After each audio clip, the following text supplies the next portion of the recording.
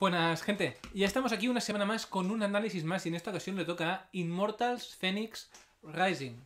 Juego de Ubisoft que salió para un montón de plataformas, desde Nintendo Switch hasta PlayStation 5, y que tuvo una salida un poquito accidentada. ¿Por qué? Porque Ubisoft sacó en la misma franja temporal tres juegos de mundo abierto. Sacó el Assassin's Creed Valhalla, el Watch Dogs Legion y el Immortals Phoenix Rising. Este último fue el que menos ruido hizo de salida y es el que os paso a comentar hoy. Es verdad que no me hubiera acercado a él si no hubiera habido una bajada de precio de por medio en el, en el juego.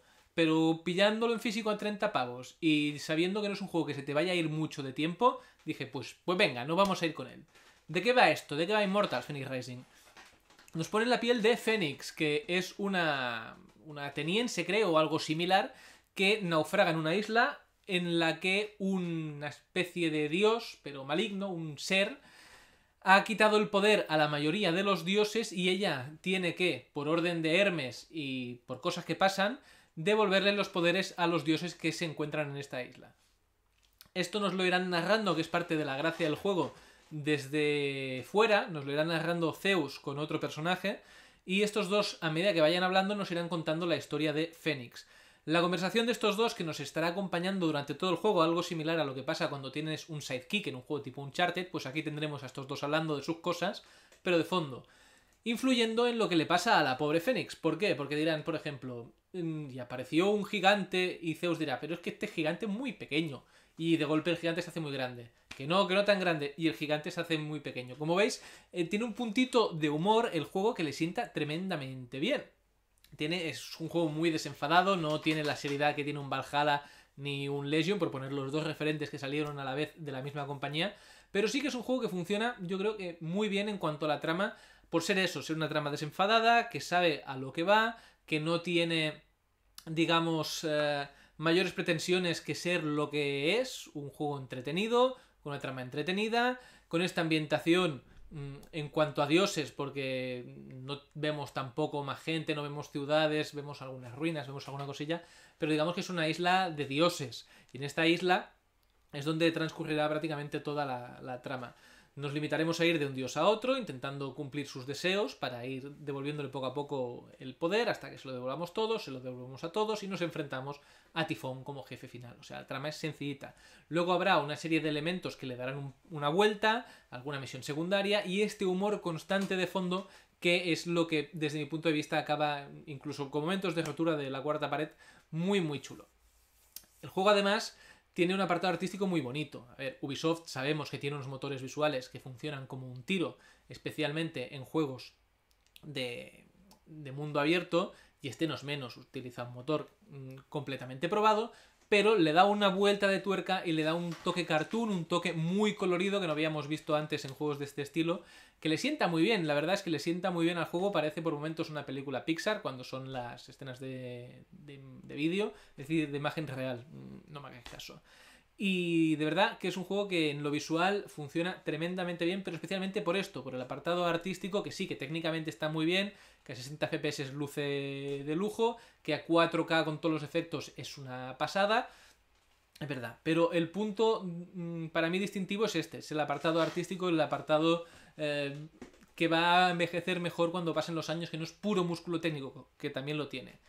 Luego un doblaje al castellano muy bueno, a nivel de Ubisoft cuando no quiere poner famosos.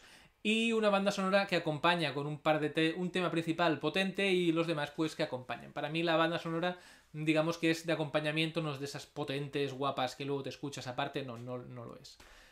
Jugablemente, ¿qué tal? Jugablemente aquí viene la madre del cordero, porque en su momento cuando salió se le achacó ser una copia descarada de The Legend of Zelda. ¿Por qué? Porque tenemos una cosa que nos permite planear dependemos de la energía para hacer un montón de cosas. Tenemos unos brazaletes, nos dan nada más empezar, no es un spoiler, que nos permiten utilizarlos como si fueran magnéticos. Tenemos eh, muchísimos templos chiquititos para hacer pequeñas, la mayoría de ellos secundarios y opcionales, para hacer mazmorras pequeñitas con algunos pequeños puzzles. Tenemos luego algunos templos grandes con unas mazmorras más grandes un sistema de combate, mm, para mí el de este juego es algo más, es más profundo que el del otro, y el sistema de físicas no tiene que ver eh, este con el de Breath of the Wild. Es verdad, es verdad que se inspira bastante en algunas cosas, pero también tiene otras cosas de mundo abierto de Assassin's Creed como son los iconos, que pones tú.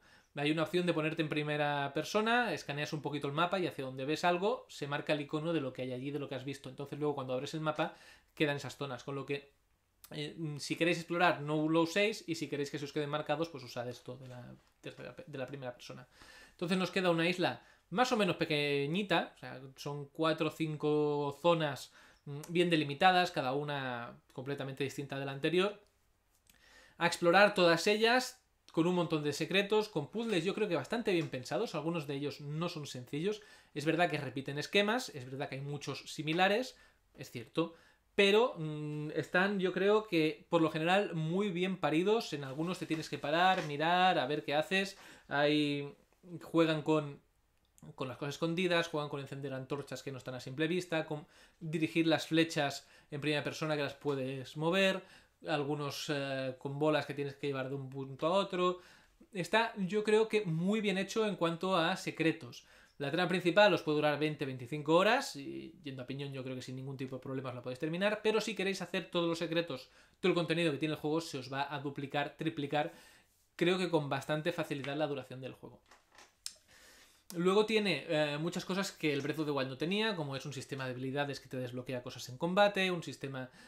la mejora de la vida y del otro, de la energía, funciona bastante similar, puedes mejorar las pociones, eh, tienes monturas, pero para mí se distancia tanto en la ambientación, como en el tema de los iconitos, como en el tema narrativo y en el combate. Tema narrativo porque aquí hay y en Breath of the Wild no había, y el combate aquí me parece más profundo de lo que era en el otro tenemos una serie de combos, habilidades desbloqueables, mejoras y se siente mucho más vivo, mucho más dinámico que el otro. El otro era más sencillito, que funcionaba, que funciona bien, cierto, pero creo que en este caso el combate funciona mejor. Así que al final, ¿qué tenemos? Tenemos un juego que en su juego base, que de momento ya llevan tres DLCs y se viene franquicia porque ha vendido muy bien, en su juego base eh, tiene contenido suficiente como para entretenerte durante muchas horas, mucho más centrado mm, en la narrativa, eh, va de un punto al otro sin perderse, algo que en Assassin's Creed Valhalla, que es el otro referente, digamos que mezcla cosas de los dos mundos,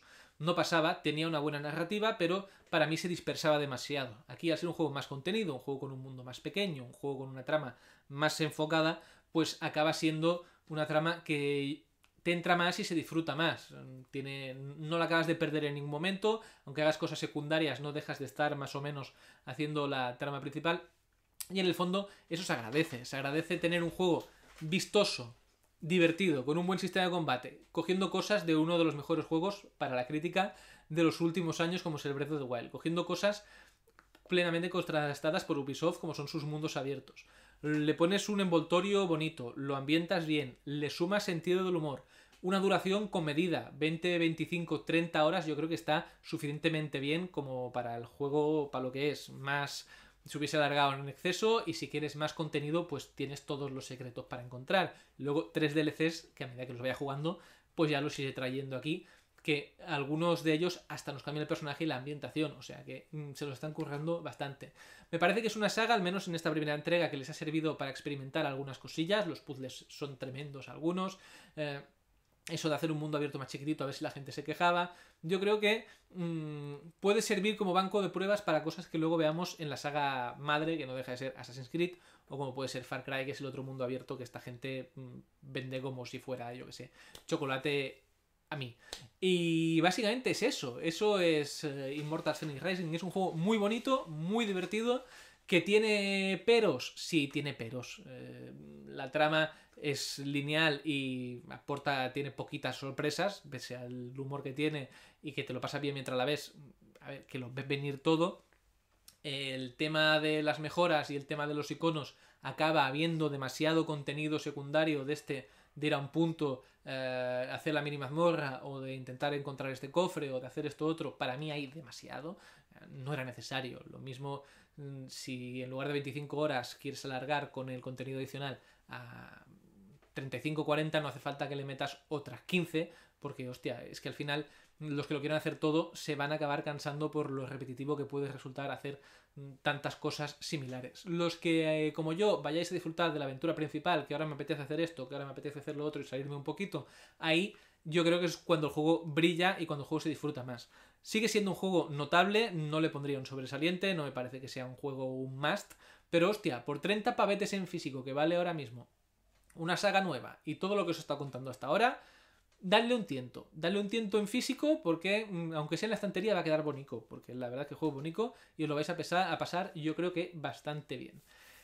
Y ya está, hasta aquí Immortals Phoenix Rising. Espero que os haya gustado la reseña. No sé si lo he grabado con el micro nuevo, pero como va por dos fuentes distintas, no sé si habré podido apuntar bien el audio. Vosotros lo notaréis, mm, ya veremos. A ver si, si funciona y a partir de ahora, pues con el micro la cosa se oye un poquito mejor. Habréis estado viendo el arranque del juego de mi propio gameplay, que lo tenéis en Darlantan 8 Gameplays. Este no ha ido a directo, no ha ido a Twitch, lo he hecho yo por la mañana, me lo he ido grabando ahorita, ahorita, sin estar en directo y disfrutando a mi ritmo. Y ya está, nos vemos en el siguiente vídeo que va a ser prontito, no sé hablar. Adiós.